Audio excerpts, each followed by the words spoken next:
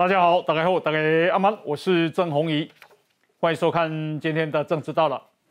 啊，这个侯友谊市长啊，今天继续对中央开火。他说：“如果老早听我的，主角于境外，那么今天呢，疫情就不会变这样。中央要负责。”他又讲。入境普筛，哦，也是拖了一年多才做，当时不听他的。另外，他说快筛阳性及确诊，他喊了一个月，哦，人命关天，他天天啊这个呼喊，但是中央就是不听。他说儿童脑炎这么多，哦，中央要负责。四月份喊病毒共存，四月底。才在买 BNT 疫苗，哦，那么啊，他啊这样子的这个对中央的开火，哦，如此的猛烈，那到底谁讲的对？哦，侯友谊金价往下搞吗？呃，这个《远见》杂志今天啊公布了啊一份这个民调，好，那这个民调，诶。侯友谊的这个满意度依然相当的高，好，那另外都就是啊，这个那个民调里面啊，从啊满意度的排名，今天我们会会来给大家看，那这中间显示什么样的意义，应该怎么解读？那在这样的民调下，陈时中是不是我都啊这个损失去算台北市长？因为啊，这个今天啊，这个。啊，柯文哲被远见的民调说他一多数人希望他去退休，好。另外是啊，这个苹果的民调，好，诶，陈时中竟然赢过蒋万安啊。那另外是桃园啊，国民党啊啊的这个乱局，好，今天最新的发展我们要来讨论。诶，这个中国啊啊，李克强跟。习近平之间的斗争越来越激烈，因为这里被变经济，说经济非常的糟糕，这里继续要疫情疫情的清零啊，这中间啊是非常矛盾的。那么我们今天呢啊邀请到的来宾啊，第一位是民进党的李位刘兆豪刘委员，黄英哥好，大家好。好，另外是政治学教授范世平范老师，黄英哥好，大家好。好，以及资深的媒体人王思琪，大家好。另外是资深媒体人康仁俊，黄英哥好，大家好。好，呃，民进党新北市的市议员李坤城，文哥好，大家好，好，以及医师工会全联会的发言人罗俊轩医师，文哥好，各位观众大家好，好，另外啊是国民党青年部的啊前副主任，那么他也是啊这个国民党啊台北市议员的候选人詹维元，文哥好，大家平安。目前就是新增了这个三百三十三例的个本土中重症以上的个案啊。那其中这一百零四例的死亡个案，死亡个案首度冲破百例，中重症也再创新高。疫情徘徊高峰期至今一个礼拜，看似平稳，但死亡率并不乐观。这两天来看就会超过千分之一了，但是仍然是一个警讯，那我们会持续的注意。死亡率超过预估防线，幼童个案也再添两人病末，都是先前公布过的重症个案。一名四岁女童五月十九号因为染疫并发脑炎住进加护病房，尽管用药治疗，仍多重器官衰竭病逝。另一名一岁女童有肠道闭锁病史，五月十六号出现发烧、抽搐等症状，引发败血症，住进加护病房抢救，一个礼拜后离世。不过也出现脑炎病例好转的个案。一岁的男童哦，本身是没有慢性病史，那出现脑炎之后，呃，寄寄到加护病房去救治哦。那呃，经过医疗团队的呃全力救治之后，目前病况是改善。本土个案从五月十八号以来维持在八到九万之间，指挥中心原先预估的十万高峰没有出现，因此认为平稳的高原期会拉的。比较长，比邻近国家一到两个月还久。而专家也认为，疫情高峰会直到七月，最多会有百分之三十到四十的人染疫。到三四成哈，四成我相信不可能了。以这样的一个速度来看，大概我想大概是十五趴哈。或者到二十趴，可能是这一波疫情的一个上限。就看加快确诊通报流程，能尽早让确诊黑数现行。中央也免费发放中低收入户每人五剂快筛，也预告第二轮快筛实名制即将上路，加速疫情落地。那么首先呢，我们来看啊，这个是今天的这个啊最新的疫情。好，那么今天呢，本土病例是八万一千八百五十二，死亡啊，好倒是增加，死亡高达一百零四位。好，那么很多人担心啊，疫情已经要往南部走。那台北市今天是九零六二，新北市一七六三二，桃园九四八四，台中九九四四，那么台南是五千八，高雄市是八千五百六十六。好，这个是啊这个疫情。那么啊，我先请教一下这个罗医师，哈，因为今天呢，诶，轻症跟无症状是啊占百分之九十九点七六，好，整个了哈，整个下来。那么今天啊，中症是两百四十二人，重症九十一人。那你看这个数字啊，是怎么解读的？呃，我想今天这个数字哈，我们来看一下哈。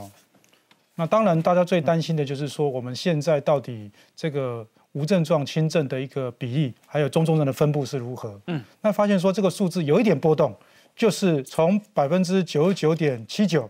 慢慢变成百分之九十九点七六，无症状轻症啊。那实际上，如果你把它当成一万人来看，就是差了两三个人，好，当中差了两三个人，从九千九百七十九变九千九百七十六。嗯，我要讲的是说，其实看这个数据呢，我们要以整个通案来看，而不是看个案的边际的一个案件。好，那另外部分大家注意是说，我们在讲说这个中症跟重症密切观察这两个数字有没有猛爆性的这种爆发的状况？以目前来看，一样是没有。我们整体的从今年开始到现在哈，我们说的这个感染之后的一个死亡状况，目前是万分之五点二六，嗯，有稍微往上爬，嗯哼。但是我还是要讲一件事情，是绝对没有刚之前首都市长说的，我们会有四万到七万的死亡，嗯，也就是说，现在在这个图里面，你看哦过几天可能我们会有两百万的国民染疫，嗯哼。那你把时间拉长十天、十四天，就是我们有两百万的国民会在这一波疫情里面完全康复。嗯，那这些人呢变成什么状况呢？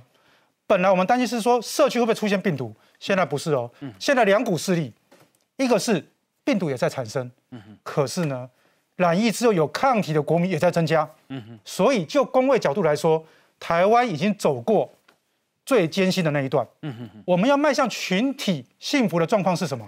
要有很多的国人他也是染疫，而且是健康康复起来。那现在不就正在走这样的路线吗？好，所以我是觉得说，所有民众呢不用担心。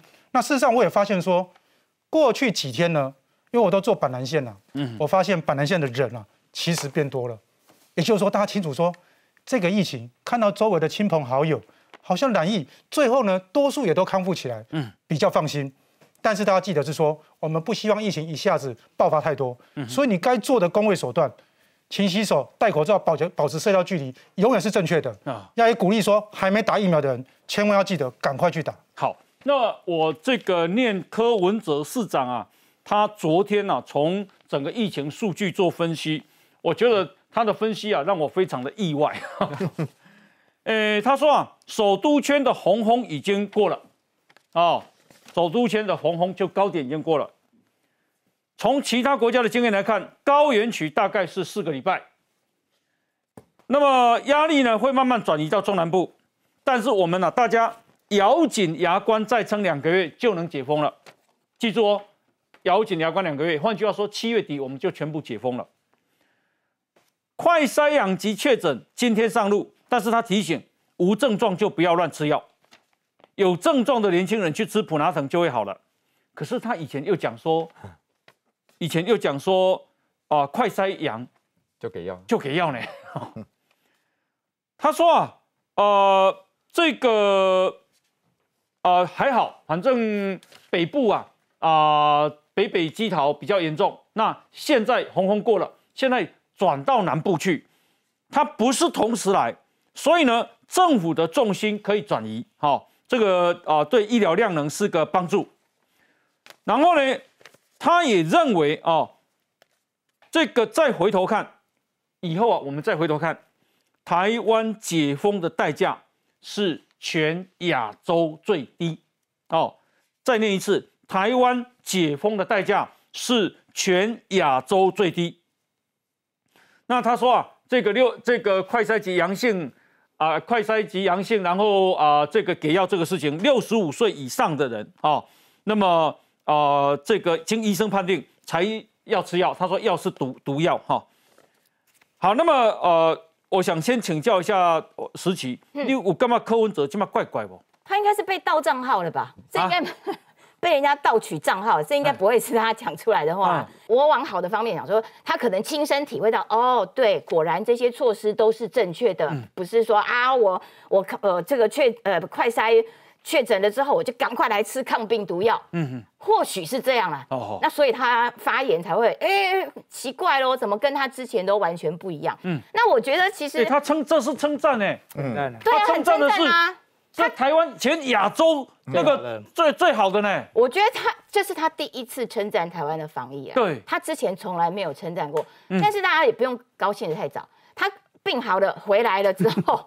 又会开始了啦，哦，又会恢复正常了。他现在应该是被人家盗账号，应该不太正常。嗯，他过两天之后就会开始继续炮打中央。嗯，为什么他会继续炮打中央？因为炮打中央可以让他拥有高声量，而且显然效果还不错，所以引起了新北市的侯友谊这个这个有样学样。哇，现在侯友谊的声量更高哦，批中央也批的比柯文哲还要猛哦。那为了不让这个侯友谊专美于前，我我相信啊。这个柯文哲出关之后，声量一定会抢回来。好，柯文哲市长讲了几个重点，第一个就是说北部的黄昏过了，嗯，哦，第二个他会往南走，还好他不是同时发生，哦，那再来就是我们再撑两个月，我们就完全解封了。那这个呃什么呃这个呃快筛啊阳性就给药这个事情他不赞成了。另外是他说。哎，台湾解封的代价是全亚洲最低。好，来这个方方老师，我觉得医学界应该好好去研究一下哈，嗯，是不是确诊完的副作用，就是他的判断会比较理性中肯啊？这可能也可以提供我们在医学界的参考了。哦，啊，或者说因为居家隔离哈，有有这种副作用。我说真的，我觉得判若两人呐。嗯，我我看我说这是柯文哲吗？怎么忽然变性变这么多哈？嗯哼，那。我觉得啦，真的，我如果这样，我希望他继续居格下去了。嗯哼，好，那他可能我们的市政推动会比较更加的正常一点。对，所以我我觉得，呃，柯文哲，如果我是真的觉得啦，大家放下政治的旗舰了。嗯，啊，那个，我觉得那天黄珊珊去跟小英在荣总的互动，嗯，我觉得很好啊。我相信他可能那时候他也有问柯文哲，我用什么态度比较好。嗯哼，那我想柯文哲可能是觉得用比较理性的方式。是，那如果像侯友谊这样完全以政治的状况啊，在不断在批评的话，嗯。我我不觉得他会获得民众的支持。侯友谊怎么批评？他批评的多少？哦，他那个现在什么都批评。等一下我们再来讨论。来，那个罗委员，我我是比较正面来看啦。我觉得有时候因为柯市长，第一个我们当然是祝他早日康复了啊。第二个人在。安静下来，你没有办法跟像以前这样到处跑的时候，你有一个安静的时间嘛？我觉得他人的良 良善的那一面，其实是会被良善的会被找回来，因为他平常在外面嘛，就是说他会武装自己啊，所以讲话都会忘记说他以前在课堂上所学的公共卫生的很多的一些原理原则，都会用政治性的话语来去做回应。嗯嗯。比如我最简单的一个道理，比如讲到那个投药这件事情啊，那我投投药这件事情，因为几乎每个医生都都会。所有的医生都会讲说，这个是处方药哦，不不能说你阳性之后就给药，那个很危险，然后会产生副作用。如果万一产生副作用，万一有人遭遭受到啊不幸的话，那国家更更麻烦了嘛哈。但是那时候他第一时间他就会讲说，阳性要投药，因为那那个时候他的医医生柯文哲医生的这个特质是被他的政治盖下去的，嗯所以他想到就是用客用政治来回应所有的防疫的一问题嘛。啊，但现在他因为他这段时间他比较安静了，嗯所以他找回他那那一部分那个柯医师。的这个特质跑出来，哦，所以他用，我觉得他这样的这就在描述我们现在台湾的疫情，呃，疫情的这，我们难得就是说，我们跟他有一些比较相同的期待了。我们真的很期待，第一个现在高呃台北市的高峰期过了，嗯，好，然后第二个。我们呃两再撑两个月，我们就可以度过这个难关。对，第三，我们台湾恢复正常生活的防疫代价是全亚洲首屈一指的，就是说我们的整个防疫的状况是最好的。所以，我们难得有这样共同的想法、共同的看法。当然，我们也期待，就是说，在这样的想法其实是可以实现在台湾的。大家。防疫就把防疫工作做好啊，少了这个政治上的口水。这么两个吼，拢报名要食西瓜环境 哦，一个是柯文哲嘛，报名要食西瓜环境，一个侯友谊。柯文哲反而不批不批民进党执政了，反而是侯友谊。来，我们看哦，这个是侯友谊市长昨天在议会答询，批评中央说，国内目前疫情发展到现在的状况是中央的责任，如果听他的 哦，老早主决于境外，就不会有这些事了。这是侯侯友谊。那柯文哲是认为台湾不可能永远清零，而且虽然一开始有一点手忙脚乱，至少到现在，我认为台湾这一关啊，这样撑撑过关的话，相对于韩国、香港，我们还是损伤最小的哦。记住，那是比熊比韩国比香港更高哦。再来，他又说，如果明年回过头来看，台湾解封了，解封代价是亚全亚洲最低。柯文哲说，既然台湾要与世界齐步，作为世界的一份子，不可能锁国清零。我干嘛一定攻点攻呢？哦，中国现在一直要清零哦，哈，但是柯文哲说不可能清零。柯文哲还说，他认为从明年回过头来看，台湾是解封了。解封代价是全亚洲最低，当然日本也表现不错。可是他说，日本是相当先进的国家，资源之之类的东西还是赢台湾很多。如果拿南韩、拿越南、拿香港来比，到现在为止，我们做的还 OK。柯文哲认为，首都生活圈的红红大概过了，剩下就是后面高原期怎么维持。中南部的疫情会上来，慢慢压力会转移到中南部去。但还好，不是同时到达哦。他说：“大家啊，再咬紧牙关，再撑两个月，台湾就解封了。”哎，罗伊斯，你也这么认为吗？那个这段话听起来哦，真的是不可思议的。嗯，那因为我总觉得奇怪哈。其实我们跟柯医师在学校都是同一批老师教的。嗯，为什么他的判断会那么奇怪？然后到现在才知道全国人民都知道的事情。嗯，这是今天的板南线，我刚才讲的哈。哎。这像是一个国家每天有八万多人确诊的一个状况吗？代表什么？哇，这么多人做，代表我们的准备是足够的啊。嗯，民众不担心啊，没有人相信会死几万人这件事情啊。嗯哼。那刚刚有提到说，为什么现在好像变成柯市长确诊之后呢，开始不批评国家了？嗯，结果变成他旁边的另外一个市长在批评。其实我们在节目都有讲啊，嗯，我们说整个疫情过程中，日本。每万人确诊，他的死亡就是三十五人。嗯，我们说韩国有十三点三人，我跟大家讲，台湾到今天这个数字在下降，每万人是十点零五人。嗯哼，所以已经比上次上节目哦一两个一两个礼拜之前日本多少？日本多少？日本是三十五人，然后韩国。韩国是十三点三。哦吼，上次也讲过，美国是一百二十。啊，我们。英国是八十几，哎，我们现在是十点零五，以这几个区域来看，就是这个数字啊。所以当然我们是付出最小代价的，而且整个过程中，谁喊过封城？嗯，其实双北市长都说过，而且不止一次。嗯，但是人民用实际的行动告诉大家说，我们只要不担心，配合政府的统一的口令跟政策，嗯。事实上我们可以做到正常的生活，嗯一样度过疫情难关。OK，好，那。这个是侯友谊市长啊，今天啊，跟啊民进党的何伯文议员啊，有一个唇枪舌剑、尖锋相对哈。因为啊，这个侯友谊啊，今昨天在新北市议会答询，他说，国内目前疫情的发展，现在的状况是中央的责任。那听一爷啦，老早主角于境外，就不会有这些事。民进党团议员何伯文不满的嘲讽说，所以拢是你丢，听你的拢是丢的，安尼对不对？好，侯伯文说：“那我让一让出一分钟的总咨询时间，让你去好好的骂中央。”侯友谊说：“一分钟骂一分钟太短，半个小时我说给你听。”美中央美半点精了。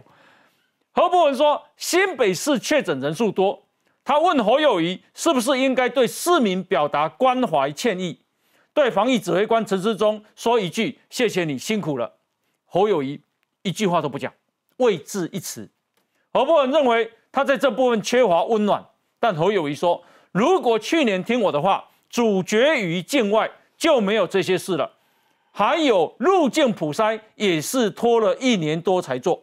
好，侯友谊公，古尼听伊爷九月十月主角于境外，挡在外面不让进来，国内根本不会有事，这个责任谁要负？中央啊。好，来，那请教一下这个昆城兄。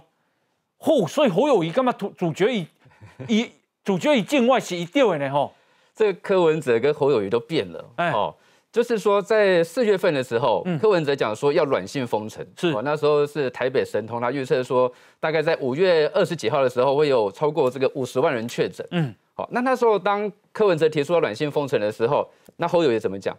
他说：“哎，这不可能，我们没有要讨论到这件事情。哦，那而且呢，现在已经进入到与病毒共存的时代了。哦，这跟过去去年的像阿尔法或 Delta 病毒的这个时空背景不一样。嗯，去年那个时候呢，要咀嚼病毒于这个境外，那现在是要与病毒共存的。这是四月中这个侯友谊在批评柯文哲软性封城的谈话。所以我是说，侯友谊他已经进入了这个选举的模式了。哦，本来这个侯友谊他是配合中央的哦。那我们现在来看说，哎，五月份的侯友谊跟四月份的侯友又不一样，他那时候四月份是配合中央的政策，因为老实讲那时候新北的确诊数高，他需要中央的援助。那现在侯友谊为什么就开始破火轰烈？尤其像这两天我们在议会的总咨询，哇，他把所有的责任全部都推给中央哦。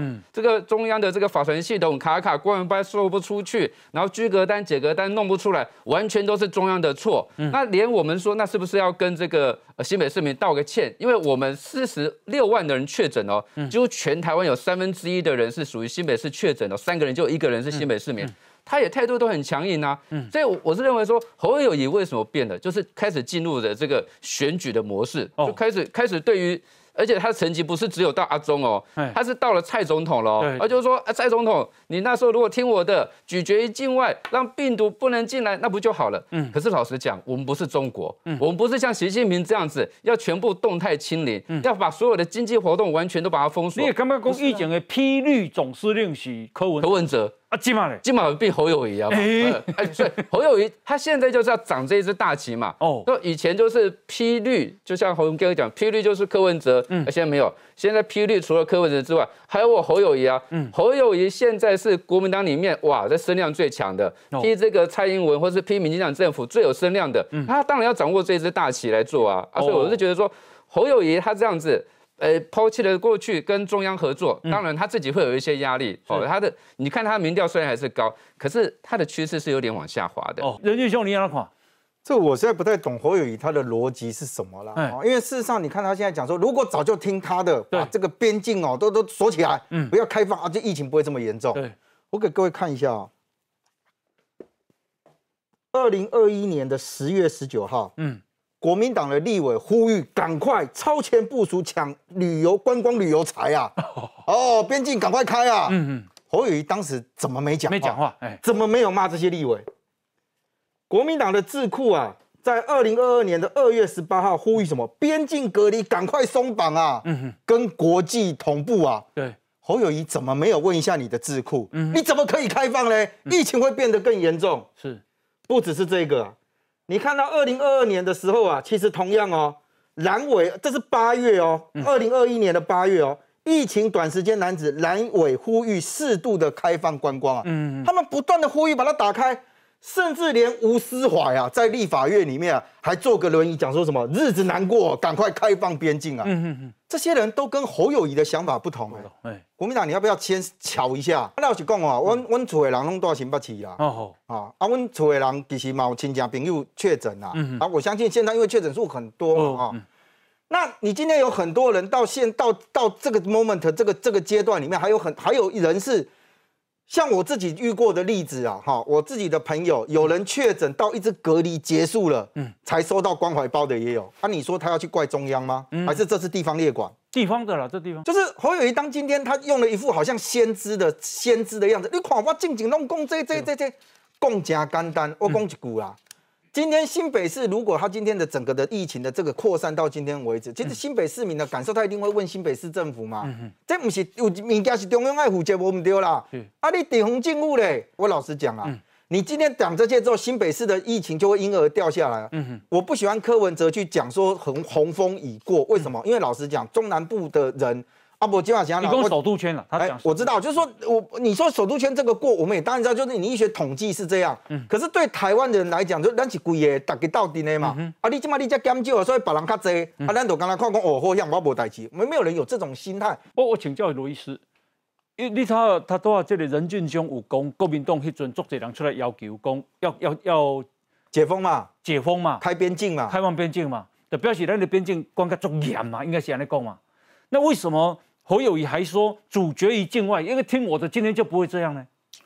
我觉得哈，其实那你那你那你边境管制是要不够严没有？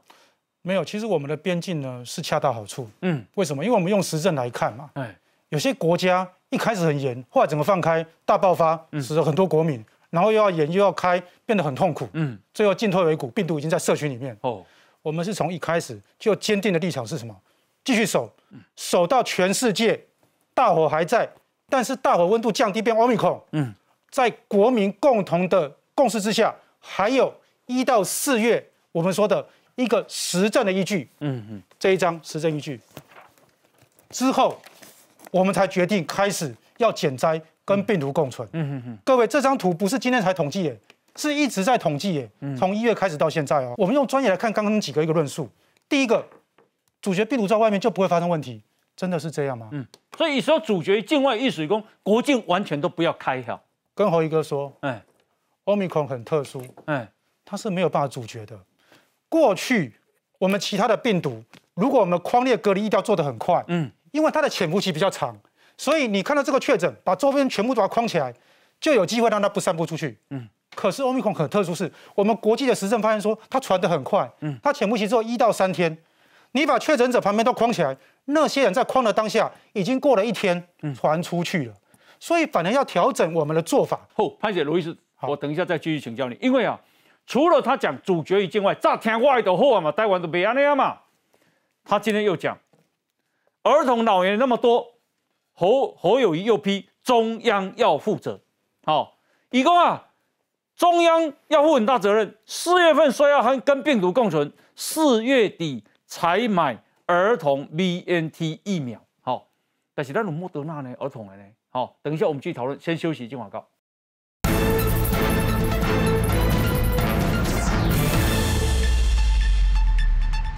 呃。今天呢，我们的疫情指挥中心啊出来说，哈，公啊，即日起就从今天开始，脑炎、心脏衰竭等重症儿童将由四家儿童医院跟十九家医学中心来收治。另外呢，再加开六岁以下儿童专责加护病房，从二十一床要扩增到八十床，然后再扩增到一百床啊。那么，呃，指挥中心医疗应变组的组长石崇良说，这一波疫情里面，十八岁以下确诊者约占两成。目前国内儿童重症比率没有高于国外的统计数据。好，那没有高于，但是呢，啊，儿童脑炎这个事情，侯友谊又要中央负责了。来，我们来看 VCR。强打辉瑞儿童疫苗，屏东不少诊所或是卫生所外都有一整排超长人龙，超过好几百米。北市也开打辉瑞儿童疫苗，首日有五所国小先接种。以民传国小的三百位学童为例，其中五到十一岁打辉瑞儿童疫苗的有两百八十三位，反观选择莫德纳的仅有十七名。但原本选莫德纳的可是有一百三十五人，抽单率超过八成。我第一次选莫德纳，然后后来哎发现 B N T 进来了，赶快就帮他改。后来说有 B N T 之后就改改为 B N T。校园开打，北视频六月三号全数接种完，但就怕疫情延烧，小孩染疫可能并并发脑炎。专家研判最大问题可能是病毒直攻脑干。这个病毒啊，有可能呃透过呃一些途径呢，呃可能会直接到我们的脑干，呃影响到我们脑干的一些生命中枢的一些功能。所以我们可以常常看，可以在呃小朋友的身上发现他呃临床症状会呃很快速的变化。专家组成团队分析脑炎个案，找出病况变坏时间点和及时对应治疗才是关键。指挥中心也定定儿童临床处置相关指引，其中包含抽血检验、注意头部影像。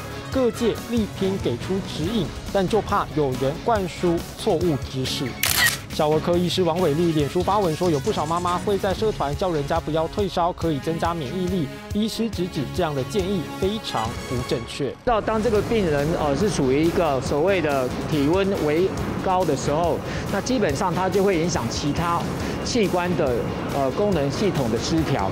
呼吁家长要根据自己的孩子状况来做发烧照护，别听信非专业意见，避免错过治疗黄金时机。来来来，请教一下刘委员，为什么这个事情也要中央负责？我我觉得这样侯友谊，比如说他刚讲的这个，我先举例，他就说主角于境外这一件事情。嗯我们刚来宾举了很多的例子，包括过我举了三月二十九号，今年今年的三月九号，蒋万安在接受访问的时候，他还提出台湾可以参照其他国家的做法，边境逐渐解封，恢复过去正常生活。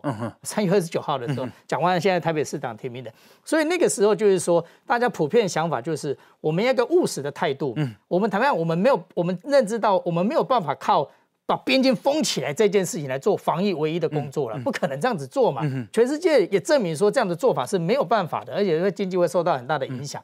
所以，我们采取像刚罗伊斯所讲比较务实的方法，一步一步的把边境站解封。哦，在特别是在全世界的疫情都比较下降的时候，我们就一步一步做。所以，侯宇做这样的一个说法，包括他其实他的结论啊，都是这样，就是说，无论是阻截境外也好，哦，无论是什么普筛也好。等等，他就说，反正他都有讲，但是中央都不做。如果说听他的，他就会完全都没有事情。嗯，就是我觉得这样的做法就是一种政治的一个操作跟语言呐。嗯，因为就是说侯友现在面对一个他，我相信他有面对一个压力了。我记得这两天有一个民调出来，就防疫的成绩的表现，侯友也在一个多月前其实他的满意度还蛮高的，然后最近他的有很明显的下降。嗯，因为他。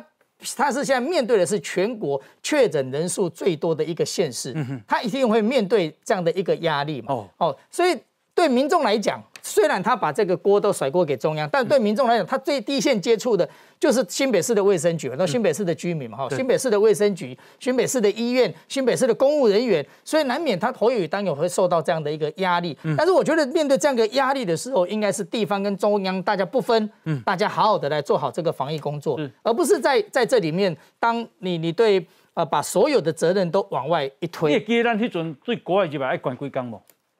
十四十四最早是开始十四天嘛，十四加七了，加七对，对十四加七，那阵大家都干干叫啊。北韩已经有主角于境外了吧？哎，那北韩现在也是有是有有疫情啊，就是 Omicron，就像那个罗伊斯所讲的，嗯。它的其实传播率是非常。那北韩因为他们中国，因为它有国土边境的那个连着了，所以有可能有人偷渡了哈。换句话说，不是说因为你咀嚼这个什么边境之外，然后 Omicron 就不会进来啊。所以这个说拿北韩的例子，就跟侯友谊讲，不可能发生这种样子。嗯。那我要讲一下儿童的这个疫苗啦。哎。其实我觉得侯友谊他就是在那一个乱讲，因为他讲说四月底才开始采购儿童疫苗，我就觉得侯友谊他是把这个采购。儿童疫苗跟我们去 Seven Eleven 去便利商店买东西是一样吗？我们进去付钱就可以拿了吗？嗯，我们的这个 CDC 是从去年第四季就开始来采购这个儿童疫苗，嗯，那就是讲那个 BNT 疫苗，因为蛮复杂的嘛，四方采购没有这么简单。那当然现在四月份正式签约进来了，嗯，那侯友谊他就是把它到最后呀，就说四月份进来，他跟你讲说，哎，你四月份才开始去谈哦这个 BNT 的儿童疫苗，那为什么？可是那时候有莫德纳啊，对，也有莫德纳啊，那所以我觉得，当然现在莫德纳又被丑化。了，老实讲，就是说已经有莫德纳的疫苗，可是那时候大家觉得说，啊，如果有 B N T，大家就等 B N T。是，那像我的小孩现在念小学，我也是让他先打这个莫德纳。我觉得有疫苗，我们就先打，不要去挑说你是要哪个疫苗比较好。那实际上莫德纳或是说 B N T 儿童疫苗，对小孩子的保护力都是好的啊。哦，来来来，罗医师，我觉得其实我们身为医护同仁哈，我们觉得最近的这些政治口水很多，其实我们很心痛了。嗯。因为我们觉得说我们是真的很努力，哎，而且台湾真的已经走过最艰困的。刚刚讲一个部分说四月底才开始打儿童疫苗，哇，所以说这就是他说四月底才开才买，对。那可是红衣哥，你知道真正问题是什么吗？也许在第一波借由这个我们说的举手说啊，我很会，我很会，得到了一个政治声量，嗯，可是它是很专业的事情，你在一起讲，一直讲，最后就会露馅了。嗯，什么意思呢？不要忘记，现在我们脑炎发生在几岁的孩子？有四位是五岁以下，那没有疫苗可以打，所以八成都是五岁以下。哎，那这个跟四月开始买有什么关系？而且我跟他讲，不是台湾不帮小孩打，是全世界没有一个国家在打五岁以下，因为没有实证的一个依据。对，而且孩童本身面对这个病毒，它造成的实害没那么大嘛，嗯，所以它利大一弊，它没法走过去。当然，美国已经有我们说的临床试验，他们开始在准备 EV，可是时间上。我认为这件事情在专业上考量是没问题的，所以不应该把它简化成说政府要负责。嗯，那我另外讲的是说，事实上稍有医学常识都知道，嗯，每一波严重的疫情，不管今天是奥密克戎还是过去我们说的长病毒七十一型，在一九九八年第一次的台湾的流行，那时候就跟现在一样，所有孩子都没有奥密克戎对抗的病毒的抗体，嗯，所有的孩子都没有对抗长病毒七十型的抗体，所以进来之后呢，就会造成很多的重症跟死亡。嗯，当时。我们的重症是，一九九八年那一次，嗯，重症是万分之三十一点四，死亡是万分之六，嗯，各位这一次 omicron 到目前为止重症是万分之零点九七，死亡是万分之零点三。嗯你有没有发现，其实就是因为台湾挡住那八百天，嗯，所以现在没有这么严重。刚刚在讲说，之前就知道讯息应该是指日本，呃，应该是指香港。嗯，香港的学者他们在五月二月五号跟二月二十八号，那时候香港疫情正严重。嗯，所以他们曾经在 Lancet 发表了一些他们当地的流行病学的观察。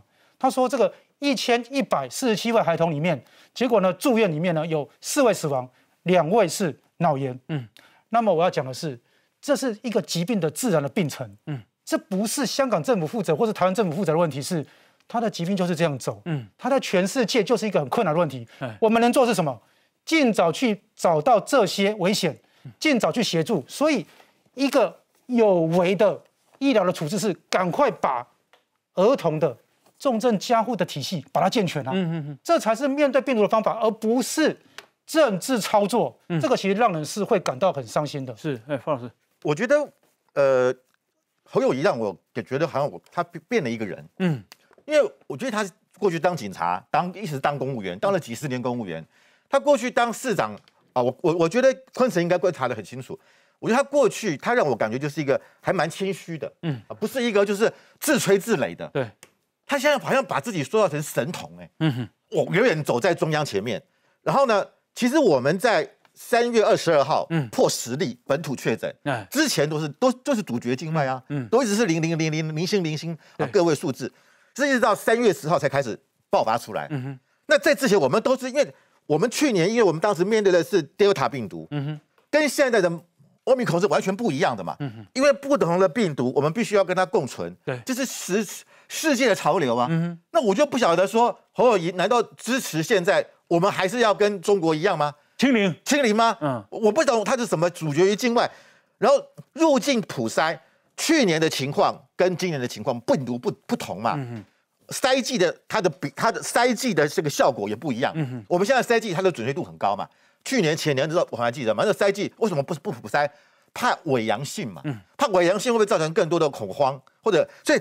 没有主张普筛，所以我觉得不同的时时空环境、不同的因素，当然有不同的做法嘛。嗯但我觉得侯友谊是把它全部都在一起，好，那他自己自吹自擂就算了，然后他现在一直拿蔡英文直接批评蔡英文。嗯嗯。我觉得这个动机很怪。我我觉得一个人动机有一个人到这把年纪哈，他六十几岁，忽然转性，这从过去的人格出现了一个重大的转折，这一定有个很大的背景的因素。嗯那我觉得刚才大家讲过。他因素绝对不是只是说为了防疫，嗯，他不需要去蹭这个声量嘛？是，你觉得他去蹭这个声量干什么？嗯哼，他他在打知名度吗？他不缺这个，他为什么现在这么这么需要媒体来吹捧、来来来讨论他？为什么？就是想选总统。刚选总统，可是现在就出手了。嗯，我觉得他已经在出手了，否则他他没有理由这个时候一直一直哎，我我我觉得我觉得侯友谊以前是个很低调的人，嗯他也不需要每天政论节目讨论他，他甚至就是好像。最好你们都不要讨论我，然后躲起来。嗯，可是他现在变成你们讨论我越多越好。还有昨天还有人是说，因为他在看民进党推谁了。嗯，如果民进党推的比较没那么强的，嗯，他自己不选哦。新北市哈，对，新北市他可能要找一个接班人哦。嗯哼，那就表示他已经要选总统了嘛。哦，他所以他到现在为止，他还没有说他一定要选市长。所以如果说今天他找到一个接班人，那那个接班人，哎。民调也不错，也不错。那民进党派的很弱，对，他就走了。嗯，就他已经在为那个二零二四在准备了。所以，所以，所以我看到就是说，一个政治人物当他言行反常，嗯，就一定有问题。好，那思琪，你刚我觉得他就的确就是政治攻击啊，的的确就是在培养自己。呃，有可能要选二零二四的那个政治的能量，否则他不会在这段期间突然间大转性，然后跟柯文哲两个人互换灵魂的。现在他才是真正的打绿总司令。那所以侯友谊的谈话，其实他列出来的每一件事情，他都只截取一小部分对自己有利的东西，然后所有新北市应该要负起的责任，他通通都把它甩过去。防疫包谁最先没发的？不就你们新北市吗？嗯。然后呢，这个台南要发这个六十五岁以上老人家打疫苗送快筛这件事情，人家早就五月六号就做了。中央也说，哎，这是个好好政策。然后啊，大大家各县市中央来发这个快筛，侯友谊就赶快哇捡起来说啊，对，这个我们新北要发，然后就抢先先。拦截这个这个好的名声，嗯，那可是真正应该新北市要做的事情，是应该要把基层的这些能量整合起来，让新北市民的确诊能够受到好的照顾。嗯嗯。那所以这张这张图之前大家也都在疯传，网络上面这两天一直在疯传。嗯。看起来他应该就是一个新北的基层的医师。嗯。他就告他就他就跑去侯友谊的脸书下面留言，他说他的确有参加那个线上会议啊，可是明明整合这些基层的能量给新北市来运用。是中央先出手的，讲的一副好像都是你新北侯友谊的功劳。你新北侯友谊就是因为没有做，所以中央赶紧来做。那这个基层的医疗人员还说：“哎，你很奇怪呢，这些酸话很政治哦，实在没有必要。”也就是说，其实你侯友谊用政治的酸言酸语，大家都看得懂。嗯，刚刚实际有讲到，因为侯友谊的系列，这点没怕小英总统。小英最近找基层的医疗去协助双倍，伊讲我早就做啊，哦，所以你你挂底我尾啊。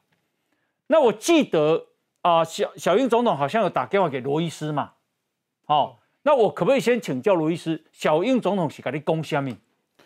其实那天小英总统打来，第一个他是非常感谢这段时间欧米孔疫情很严重，包括新北在内的各县市第一线的医护同仁，嗯。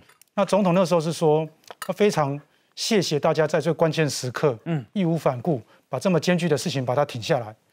而且各位知道说，因为疫情已经八百多天，其实很多人的那个工时，专业人士的工时那是很恐怖的哦。平常已经很累了，嗯，现在每个人每天都要加班做更久的时间，对，才能把居家照顾个人看完，嗯。所以很多医生是他看诊如果到九点半，他要看到三更半夜，嗯。有的民众说，哦，我十一点才接到医生关心，可是很感谢啊。因为他有平常的事要做，那小董就是感谢大家，所以对我们来说，精神的提振，让我们觉得很有力。嗯，我们就基层觉得说这个战力旺盛，我们要继续努力。嗯，啊，第二个他说的是希望再加强、再提拨出更多的人力，嗯，专业人力来协助。为什么？因为那个时候小英总统看到几个问题。第一个，我们看到很多新设立，因为他在之前一个礼拜曾经呼吁嘛，设这个社区筛检站嘛，他说设立了，可是呢，民众。在这个过程中有没有办法得到一个完整的服务？包括这个看诊啊、拿药，还有孩子啊。现在看这脑，就知道说更重要是孩子能不能很快有一个青山通道。嗯，所以记不记得那时候五月十七号自由广场的时候说四条线，嗯，第四条线就是什么？三人以上的这个汽车加上儿童亲善。我跟大家讲多么细腻，车子进去之后两边窗户都可以打开，嗯，而且是儿科医生来处理 PCR 筛检。为什么？因为里面是小孩子啊。孩子看到儿科医生才会乖乖的啊，因为做皮下很痛苦啊。嗯嗯。各位，这就是防疫，就是医疗工作细腻的地方。嗯。不是你随便讲一讲就结束了。是。那至于说那天还有一个重要事是说，我们现在不是要做快筛阳性及确诊吗？嗯。所以基层到底有多少诊所能够做、愿意做、已经完成准备？嗯。所以并不是后来人讲说啊，我们四月二十八就已经有六六百多家都准备好了。嗯各位。你把它登记上去，他准他能够做，跟他实际上能不能开始做，那是两件事。嗯，所以这段时间我们在中央有很多的医疗应变会议，包括那一天，嗯，通完电话之后，下午马上做的事情是什么？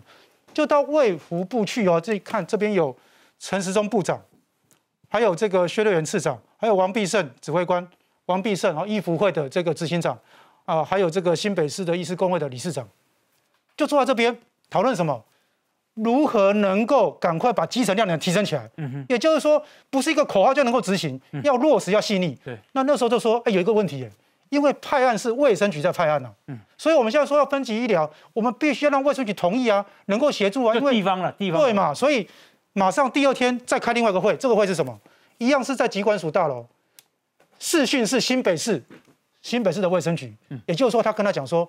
哎，你应该要遵从我们现在哈分级的一个方向，嗯，赶快把更多案派给基层医师。嗯，这就是我讲说，重点不是你在哪一天说多少要做，嗯，重点是他能不能做，是不是上线？哎，那也就是借由五月十九、五月二十两天，让这件事情更加落实。嗯，那回过来看，现在我们说重症死亡要更多的量能去照顾，不就是因为要分级吗？嗯，那现在回来看说儿童脑炎要去积极去抢救它，不就是要让基层赶快把其他事情把它担下来吗？嗯，所以我认为说。